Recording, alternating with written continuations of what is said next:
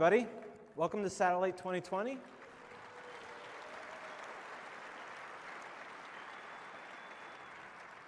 Sorry we got off to a late start. DC traffic is a killer. But uh, my name is Jeffrey Hill. I'm the conference chair, and I'm here with Elon Musk, chief engineer and founder of SpaceX. Elon, thank you so much for being with us. Uh, thanks. Thanks for thanks for having me. I guess it was uh, 11 years ago that we met. Yeah, and, and when we met 11 years ago, we were talking uh, about Falcon 1, Falcon 9 at the time.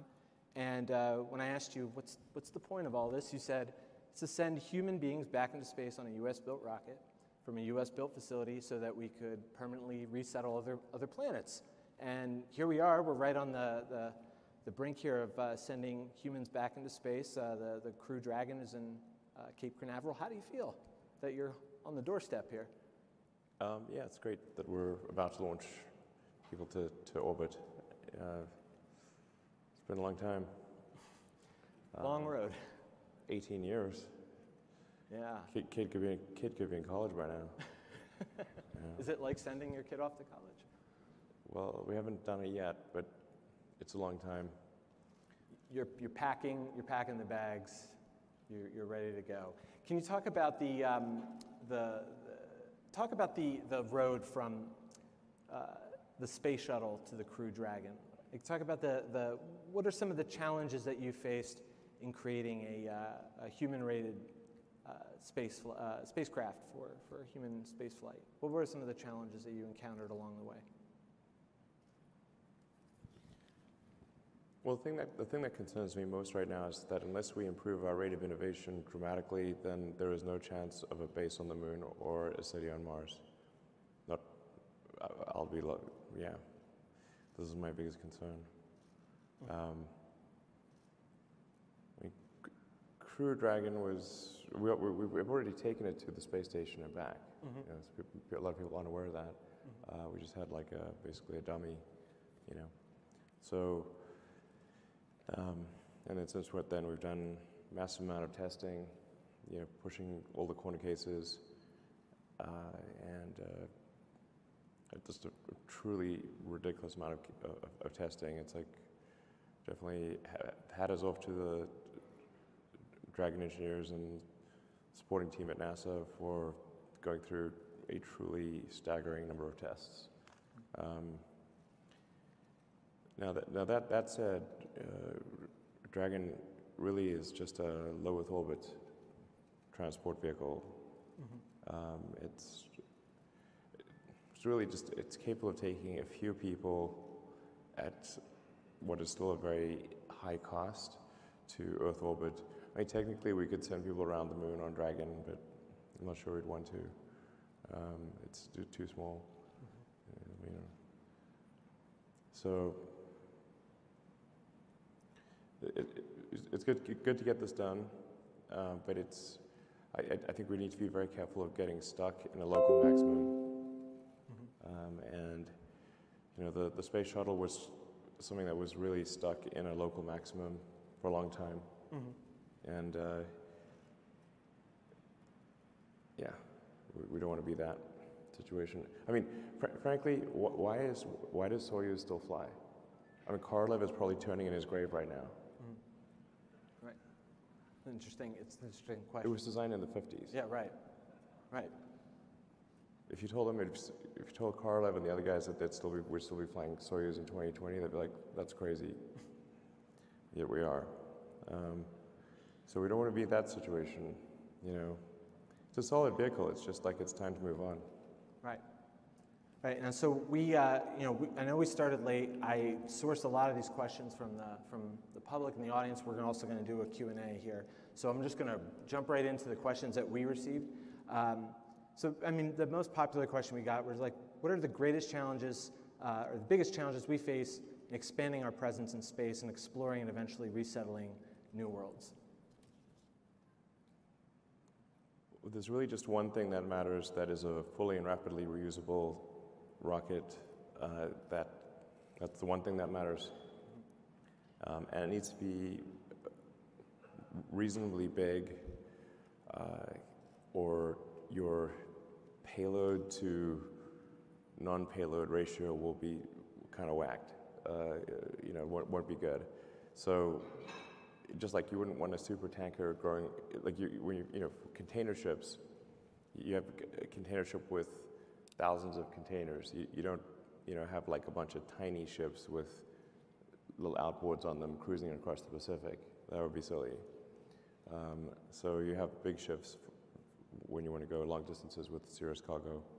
So we need a fairly big, but definitely rapidly and completely reusable rocket. This is the fundamental thing. Without that, we're going nowhere. And um, what level of reusability is uh, SpaceX actively pursuing for, for Falcon 9, for Dragon, for Starship?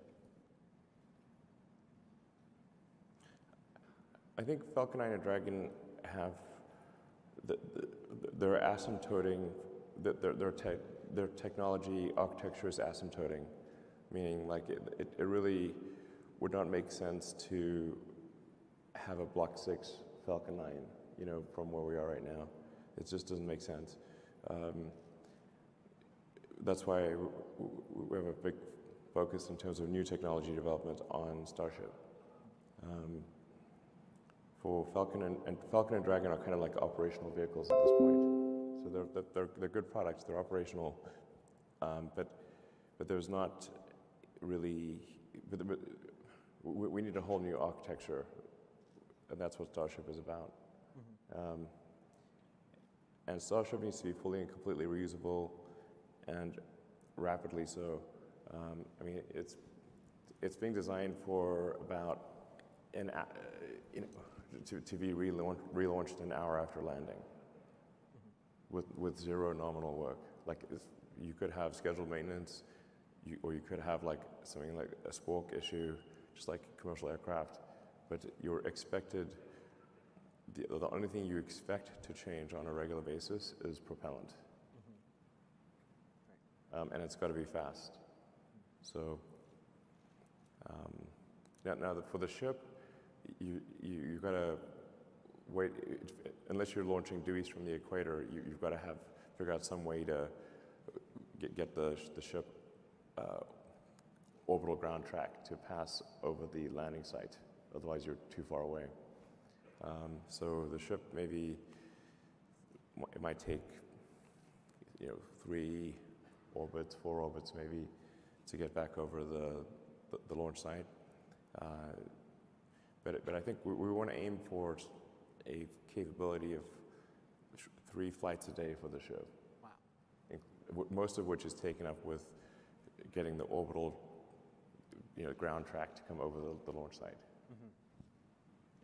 and then an hour for everything else. And you know, every, everybody's in, interested in, in the, uh, the mission to Mars, uh, planetary resettlement. We're talking about reusability for the launch vehicle. Uh, what are your thoughts on in-space resource utilization? Uh, for example, water, oxygen, soil, um, from the moon, perhaps, maybe to go to Mars. Uh, do you have any plans to uh, utilize resources um, in space for the mission to Mars? Uh, nope. I mean, apart from uh, orbital refilling, I think uh, that's very important. So you've got to. So there's one ex- besides a fully and re- fully and rapid, rapidly reusable um, rocket, you need to also have orbital refilling or retanking. That's got to be that's fundamental. Because um, then you can essentially recoup uh, all of your mass fraction delta V in Earth orbit. You can leave with full tanks. Um, and it could, could be from medium, low Earth orbit or you know, something that's maybe elliptical or something like that if you want to go higher energy. But that's, that's crucial for getting to, to Mars. The, the moon is neither here nor there. Um, I mean, using the moon would be like, okay, if you want to cross the Atlantic, maybe you want to go to Iceland, probably not, you know. But, you know, to visit, sure, but you know, it's not like a mandatory stop, you know. Yeah. Um, so, and also for the mission to Mars, um, what advancements, we, we talk a lot about hardware and physics problems, and, and what about advancements in software? Um, you know, the reason I bring this up, it, recently, are you familiar with the game designer Jonathan Blow? he referenced you in a keynote he was given, and he said that you, you had talked about technology naturally decays because skills naturally fade. And one of the things he identified was a decay in software, um, a de- degradation in software. Uh, is this something we have to address in, in, in doing something like going to Mars, and since all of this stuff runs on software? Well, software is an increasing part of any piece of technology. Um, I mean, Tesla, the car is extremely configurable. It's basically like a laptop on wheels. Um, so software matters enormously there. Um, and, and really, for, for, example, for full autonomy, the only gating factor is software. The hardware is all there that's required. It, it has been for the last couple of years. Uh, well, well, the final piece of hardware was upgrading the computer to have more compute power. Um, so software is extremely important. Um, the point you're alluding to, which is that, you know, what I was referring to is technology does not automatically improve. Right. Uh, people are used to the phone being better every year. Um, although, and I'm an iPhone user, but I think like some of the recent software updates have been like not great. Certainly feeding it to that point. Um, it like broke my email system. Like what the? This is like quite fundamental. Um, so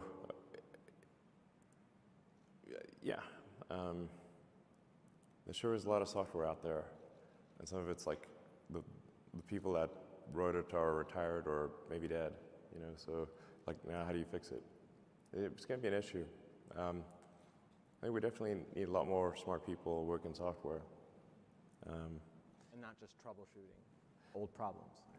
Not just troubleshooting old problems. It's actually very important to retire old code bases and, and not just maintain them forever, because mm-hmm. the, the, the, difficulty of maintaining them becomes extremely high.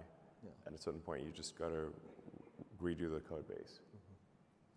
So we'll come back to the Mars mission because I know we've got some uh, audience questions on that. You know, we're at a satellite conference, so I'm going to ask you some questions about satellites. Uh, Starlink. Um, what's the long-term vision for Starlink? Uh, how do you see the role of Starlink as it relates to mobile broadband and 5G? Uh, sure. So, I mean, the, the, whole purpose of SpaceX is really to help make life multiplanetary. Um, and then, but the revenue potential of launching rock, launching satellites, servicing the space station, whatnot, that's you know taps out around three billion dollars a year. Um, but I think uh, providing broadband is, is more like an order of magnitude more than that, probably 30 billion a year, mm-hmm. um, as, as a rough approximation. Um, and we're still like probably below 5% at that point. So it's not like I want to be clear, like, it's not like Starlink is some huge threat to telcos. I want to be super clear, it is not. uh, in fact, it will be helpful to telcos because uh, Starlink will, will, will um, serve the hardest to serve customers that uh, telcos otherwise have trouble doing with, with landlines or even with, with uh, cell radio stations, you know, with cell, cell towers. Mm-hmm. Um, 5G is, is, is great for high density situations like being here in DC or you know New York, San Francisco, that kind of thing. 5G is great for high density situations, but it's actually not great for um, the, the, countryside. Mm-hmm. You know, for, for rural areas, it's, it's, not, it's not great. You need, you need range. Um, and so any, any, any kind of sparse environment, uh, 5G is, is really not, not well suited. Um, but it's great, great for, for, for city, dense city situations. So Starlink will effectively serve the, I don't know, three or four percent hardest to reach customers for telcos, or, or people who simply have no connectivity right now, um, or the connectivity is really bad. So I think it, it, it will be actually helpful um, and take a, a, significant load off the traditional telcos. Okay. And I was I was going to ask you what, what customers uh, you know, were ideally suited for Starlink, but I guess uh, since you mentioned that it would be it would be these uh, three to four percent at the very something like that um, at the very edge. W- what is the customer uh, experience like then for those people, and what's the cost of, uh, of acquiring the services? Um, well, it will be a, it should be a good experience because it'll be very low latency. Um, and we're targeting latency below 20 milliseconds. Uh, so somebody could, could, could play a, a fast response video game uh, at a competitive level. Right. Like that's the threshold for uh, the latency. Um, s- uh, so then, and, and ban- bandwidth, the bandwidth is a very complex question. Um, but let's just say somebody will be able to watch high def movies, um, play, play video games, and do all the things they want to do without noticing speed. Right. Um, and then the, the, the challenge for anything that is uh, space-based is that the, the size of the cell is gigantic.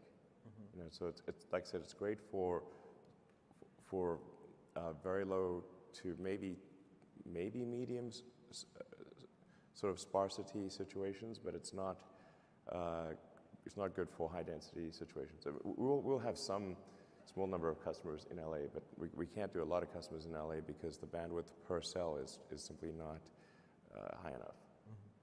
Um, uh, what, is, what does the equipment on the ground look like for this? What are, Yeah, um, so the, the, the ground equipment just looks like, uh, well, I like I said, I think it looks like a little, U- looks like a UFO on a stick. Um, so the, at least the version one of the user terminal will actually have actuators on it so that it can, it, it can um, improve the pointing accuracy. So you don't have to, the, the, it's very important that you don't need a specialist uh, or some, to install. Um, it, the, the goal is that this the, the, the instructions in the box will, there's just two instructions and they can be done in either order. Uh, at sky, plug in. You do it either order, sequence doesn't matter, and it will work, plug and play. literally. but also pointed sky. The you can't see the satellites. If you, if you can't see the satellites, you can't see you. Um, just wanted to talk about just some of the design uh, concerns that were raised by astronomers. Um, can you talk about little, a little bit about how you working maybe working with astronomers to alleviate these concerns, or, or are you working on the design or altering it, or, or is, are the concerns um, overblown? I mean, how do you feel about what has been raised? Um, I, I am confident that we will not cause any impact whatsoever in astronomical discoveries. Zero. That's my prediction. So if- We'll take corrective action if it's above zero. So you're not giving like Orion a hat or anything like that. You're, every, everything's No, I mean, there's, there's a, sometimes people get a little excited because when the, when the satellites are first uh, launched, they're, they're, they're tumbling a little bit, so they're like, they're kind of like, they're gonna blink, um, and, because they, they haven't stabilized, um, and then, and they're, they're raising their orbit, so they're, they're lower than you'd expect, and they're kind of necessarily gonna reflect in ways that is not the case when they're on orbit. Uh, but now, now that the satellites are, are on orbit, uh, I'd be impressed if, if somebody can actually tell me where, where all of them are. I've not met someone who can tell me where all of them are, not even one person. Yeah. interesting. So that, I mean, it can't be that big of a deal. Um, But, wanna- but, but uh, we are, ta- to be clear, we, we, we are actually working with senior members of the, uh, the, the, um, the science community and, and senior astronomers to minimize the potential for reflection uh, of the satellites. So, um, you know, we, we, and we're, we're, we're running a bunch of experiments to, for example, um, uh, just ha- have a, a paint the um, phased array antenna black instead of white. Um, and we're um, working on a, a sunshade because th- there, there are like certain angles where if the sun gets you know, just sort of just right um, and there's not like a little sunshade, we're not talking about a lot here, then you can get a reflection. Um, and so we're launching a sunshade, uh, changing the, the, the color of the satellites, um, and otherwise minimizing the, um, the potential for any, any impact. Uh, e- even like a, a- aesthetically, this this should, should not be an impact. I think. Recently, uh, Gwynne Shotwell uh, in Bloomberg was quoted as saying that you, know, you were exploring splitting Starlink from SpaceX. Um, could you talk a little bit about that, why that would happen, and how you see both of these independent companies functioning, and, and just talk a little bit about that? We're thinking about that zero, Was that we're thinking about that what? Zero. zero. Zero. Not thinking about it at all. We need to make the thing work. Um, it's, it's far from obvious that, I, I mean, it's real important to just set the stage here for LEO communications constellations. Guess how many uh, LEO constellations uh, didn't go bankrupt? Zero. Zero. Um, yet Iridium's doing okay now, but the Iridium 1 went bankrupt. Orbcomm went bankrupt. Um, Globalstar bankrupt. Teledesic bankrupt. Am I leaving anyone out? There's a bunch of others that didn't get very far that also went bankrupt. Anyway, they all went bankrupt. So you're focusing on making it work first. Uh, Not bankrupt. Right. And not going to. There's, there's a big, that would be a big step. have like more than zero in the not bankrupt category. How would you, I mean, with, how does it work then with the, the, the business of SpaceX? Since you're like, I mean, you are launching other constellations. Uh, is that, is that a, an issue? Does that cause a, a conflict or? We're launching other constellations. Or you're launching other satellites? So what- Oh yeah, sure, whatever. Yeah, no problem. Of course. Right. So there's no like, you know. We're even giving them a good deal, by the way. Like, uh, no problem. You want to launch constellation on SpaceX? Sounds good to me. So, I mean, I, I think that you know, I think there's there's the world seems to have an insatiable appetite for bandwidth. So we're certainly happy to launch other satellites, and um, you know, we don't think Starlink is like going to destroy all other satellites or something like that. Or definitely not. All right. Um, yeah, we just want to be in the not bankrupt category. That's our goal. um, since you're, since you're now, the company of SpaceX now, you know, you're, you're building or launching satellites. Are you, are you looking at expanding the business of SpaceX into other areas of commercial satellite uh, connectivity? Maybe like we, we talked a little bit about the, you know, you're already building like technology on the ground. Are there other areas that you're looking to get into in terms of commercial uh, space connectivity or satellite services? Um, no, we're really, there's just there's two major new technology programs at SpaceX. That's Starlink and Starship. Well, like, it's kind of has star in the name of it too much. If I, maybe we should call it like link and ship. If you divide the one by the other, the, the stars net out, and then it's just link and ship. but that's it. Um, As far as I know, anyway. And there could be some secret project that's so secret I even I don't know about it. you know, have a business under the chairs. Uh, I don't think there's anything major. Um, so I want to I want to give time for uh, people in the audience to ask some questions. But uh, you know, we talked about uh, Starship. Um, so development at Boca Chica is um, moving along pretty quickly, and uh, Um, yeah, actually, that was the real reason I was late, is because I was at Boca Chica. My apologies. Uh, I was just uh, working on Starship uh, with the team there. So it's pretty cool out there, actually. I like it. and tell us a little bit about the work that's uh, underway, what we can expect in the future for for Starship. Well, we're building a, a production line. Pr- production line is the hard part.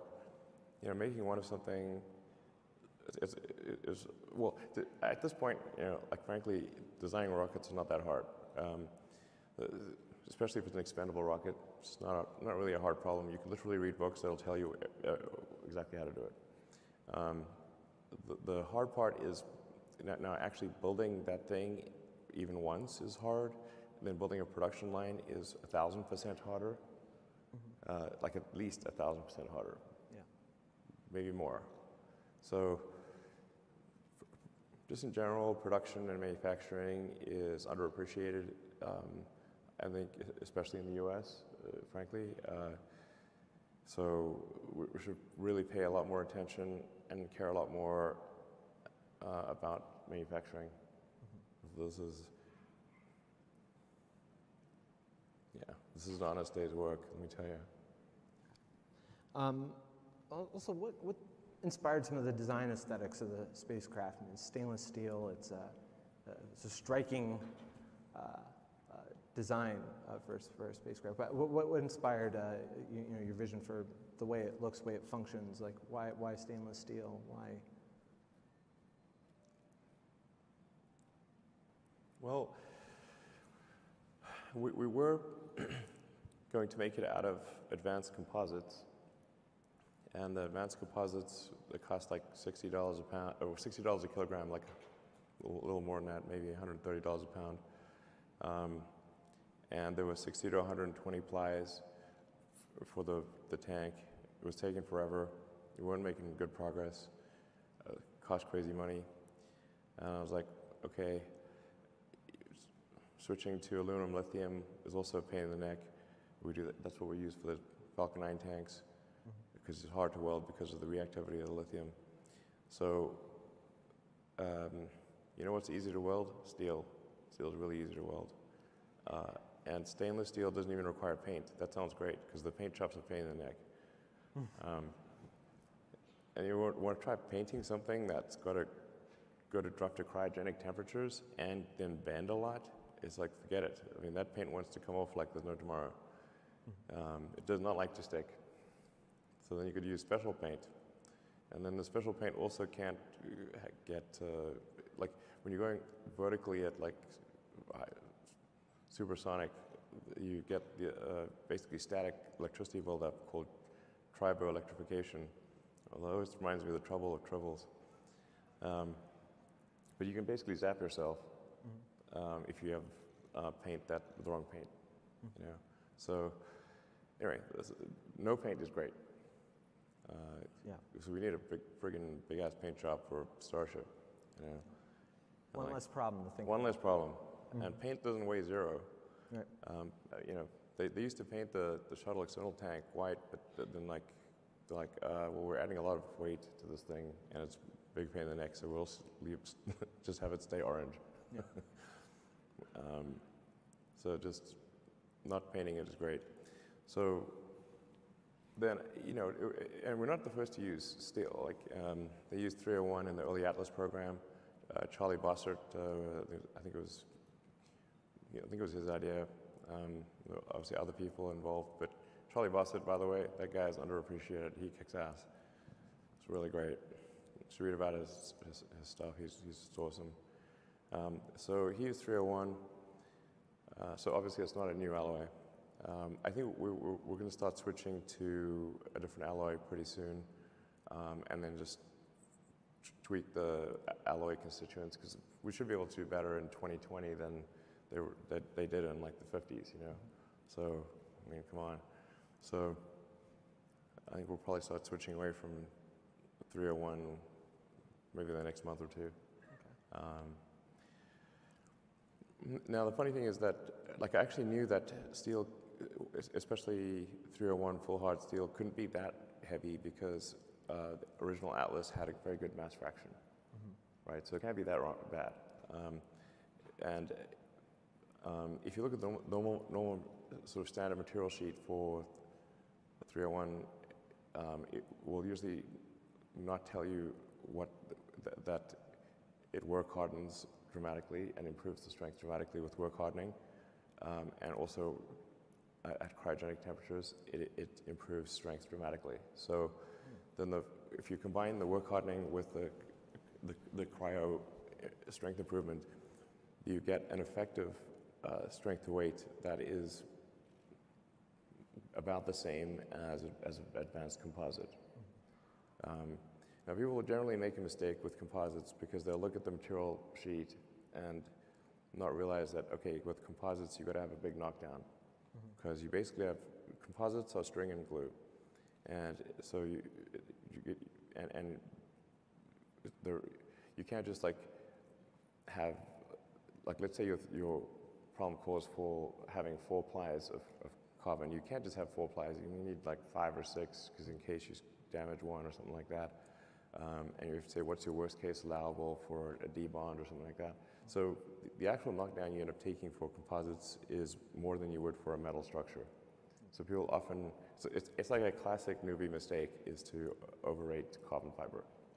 Because you just, you, you look at the material data sheet and it looks like an obvious move, but it's not.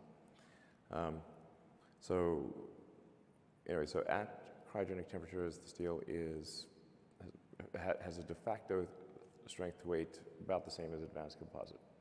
Um, but and that doesn't not even counting the fact that you have to paint the composite, you don't have to paint the steel. Um, then there's a, another factor which is if you want to have a reusable vehicle, it's going to get hot. Uh, composites don't like getting hot. Uh, so, you know, typically your, your composite maybe is comfortable up to around 150, 200 Celsius, something like that. You know, um, and things start getting pretty sketchy around 250 C.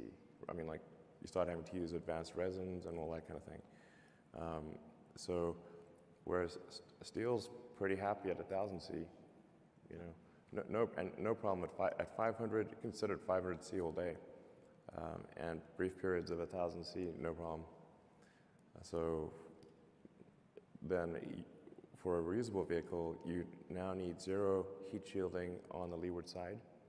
Um, normally, you need some heat shielding just due to, due to um, radiative heating on the back. Um, so you don't have a lot of convective heating at hypersonic, but you have radiative heating. And then uh, you can thin out the uh, windward side of the, the, the heat shield because the thickness of the, of the heat shield uh, tile is driven by uh, the temperature on the back side of the tile where it mounts the primary structure. So if, you go, if your primary structure can take um, a high heat, that means you can thin out the tile. Um, so think, think of it like these, like like oven mitts or something. You know, if you have like, how ha- hot can your hand go, um, and that sets how thick your oven mitt is. Right. Um, so, so then you can have, like I said, no, no heat shield on the leeward side, on, on a, and, and a thin heat shield on the windward side. So now your actual total mass of a steel, uh, of a reusable steel spacecraft is less than that of the most advanced carbon fiber vehicle you could possibly imagine. Yeah. Wow. But this is, happened by accident, by the way. This may sound like some great insight, but it actually happened because we were moving too slowly on composite. Um, and I was like, we cannot move this slowly or we'll go bankrupt. So Right. just get, do this with steel. So you ha- I mean, the design has to be focused on problem solving. Otherwise, you're going to spend too much time trying to figure. You, you don't start with a. Yeah. Yeah, I'm like uh, sort of taking to management, management by rhyming. If the schedule is, schedule is long, your design is wrong. Right. This is very true. That's good. Good point. Yes. With that, I want to go to some audience questions. We asked uh, the audience through the, uh, the app to submit us questions, so I believe we have uh, a few that we've pulled here. So uh, we've got some over here. Can we, um, and can you come closer over here so we can, we can see you? Let's say. All right, our first question. Hello, I'm Jaden Zundel. I'm a graduate student at Stanford. Uh, my question for you is As you look back on your career in the space industry, what has been the most surprising or unexpected challenge that you faced? And along those lines, if you were to go back in time and talk to your 20 year old self, would you do anything differently? Go back in time to your 20 year old self. I mean, I think I'd, if I get it, I think it would make a far fewer mistakes. Obviously, if I could go, like, here's a list of all the dumb things you're about to do. Please do not do them. Uh, Wouldn't we all? It'd be a very long list, and like, you know, here, let me uh, you know, write it down or something. You know, um, I mean, it's hindsight's 2020, so it's hard to say. Um, I mean, the number of I've made so many foolish mistakes. I have lost count, honestly. Um,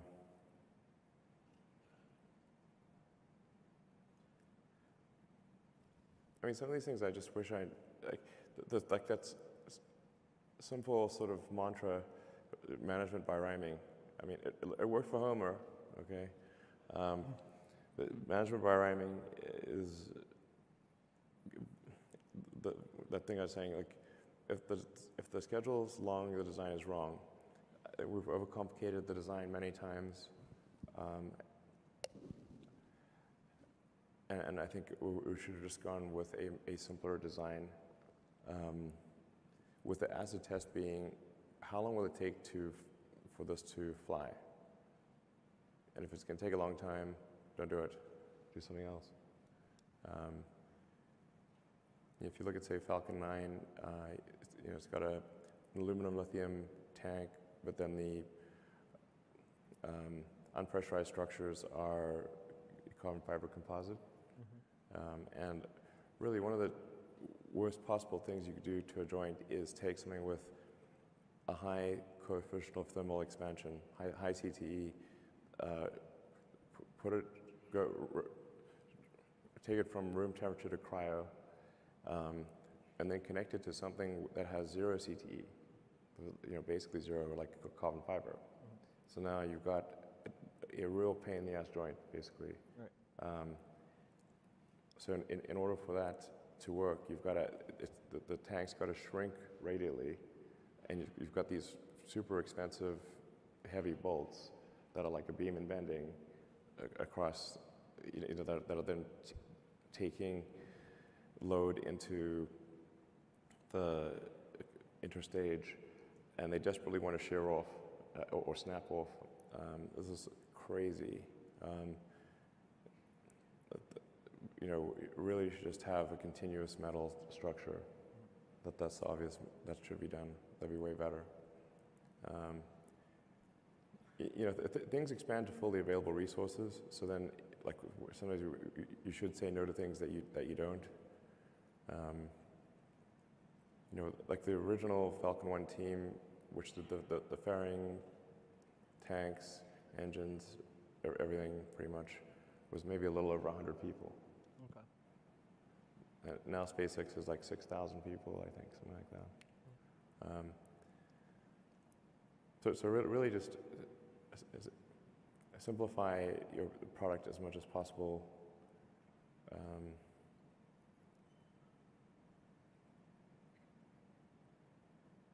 uh, you know, and, and then like if, if I think of some of the ways in which, how does a smart engineer make dumb mistakes? Include, you know, i- is optimize something that shouldn't exist. Don't optimize something that shouldn't exist. Um, but people are trained to do this in college. You can't say no to the professor. You know, the professor's going to give you the, the exam, and you've got to answer all the questions, or they will get angry. Um, so, and give you a bad grade. So then you, you always optimize the, you always answer the question. A lot of the times you should say this is the wrong question. Right. In fact, the question is definitely wrong to some degree, just how wrong. Um, and I think just generally taking the approach that your design is some degree wrong, probably a lot more than you think. Your goal is to make it less wrong over time. Do we have that? let's go to another question.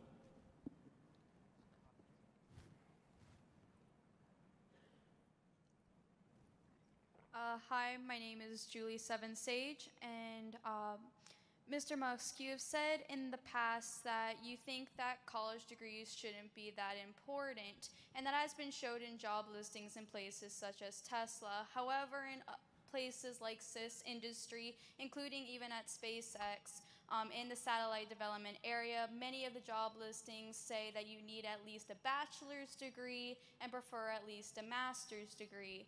So my question to you is with um, uh, more jobs asking for higher levels of degrees, that scholarships are not changing amounts, and that it's getting harder and harder every year to pay tuition, even with using scholarships. How can colleges and industries make it easier to afford college, but at the same time being able to pay grad students and employees well, and also to make sure that there is a large scale access to good colleges, especially to underprivileged communities, so that everyone can be a part of the future we're building. Thank you.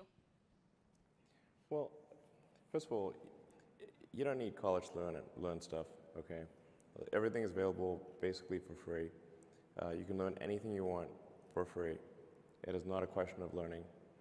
Um, there, there is a value that colleges have, which is like, you know, seeing whether somebody's, is, can somebody work hard at something, including a bunch of sort of annoying homework assignments, and still do their homework assignments, uh, and, and kind of soldier through and, and, and get it done. You know, that's, that's like the, the main value of college. And then also, you know, if you, you, if you probably want to hang around with a bunch of people your own age for a while instead of going right into the workforce. Um, so I think colleges are basically for fun and to prove you can do your chores, but they're not for learning. There it is.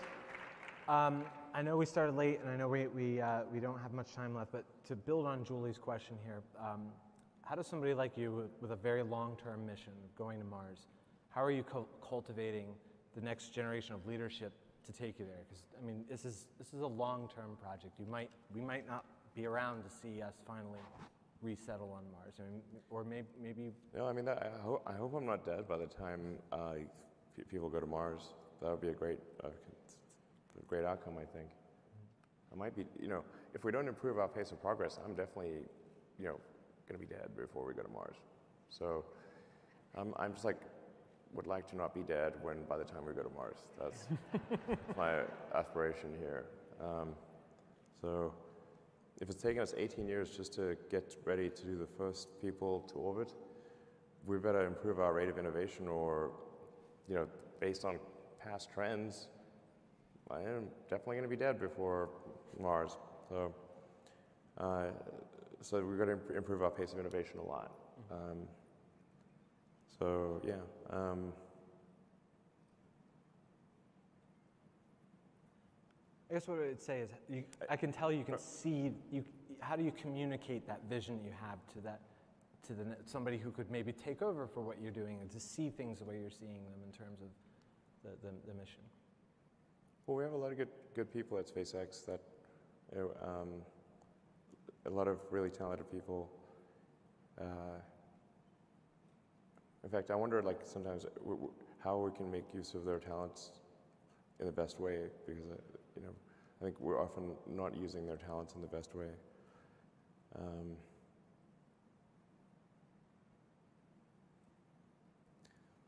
yeah, but I- you know, to the point of the question that was just asked, I want to make sure Tesla recruiting does not have anything that says requires uh, university, because that's absurd. Uh, but there is a requirement of evidence of exceptional ability. Like you just can't, if you're trying to do something exceptional, they must have ev- evidence of exceptional ability. I don't consider going to college evidence of exceptional ability. In fact, ideally, you dropped out and did something. I mean, obviously, you know, we look at like, you know, Gates is a pretty smart guy. He dropped out. Uh, Jobs pretty smart. He dropped out. You know, Larry Ellison, smart guy. He dropped out. I'm like, obviously not needed. So, Did Shakespeare even go to college? Uh, probably not. I well, I, I'm, uh, thank you so much. i I wish we could take more uh, audience questions. I know we have, we have a hard stop, but thank you, Elon, for stopping by. Thank you. Let's give him a round of applause for stopping by and speaking to us. Enjoy the rest of your evening and uh, see you soon. right. Thank, Thank you you. very much. all right.